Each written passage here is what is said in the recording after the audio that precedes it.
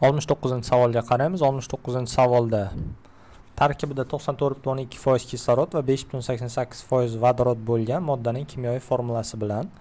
Demak bu ikkita moddani formula topish orqali topasizlar.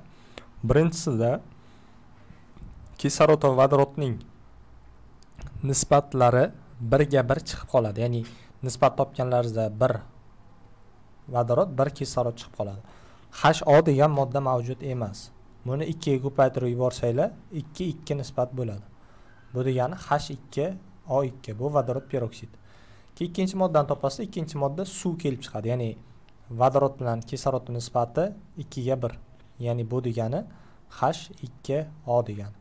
H ikki o ikkinchi modda birinchi modda h ikki o ikki. Bo'lgan moddalar kimyoviy formulasi qanday farq qiladi? Ya'ni bir biridan nimasi bilan farq qiladi? Qaranglar vodorodlari bir xil ikkalasida ham to'g'rimi kislorodlari bittaga farq qiladi. Ya'ni bunda ikkita kislorod bunda bitta.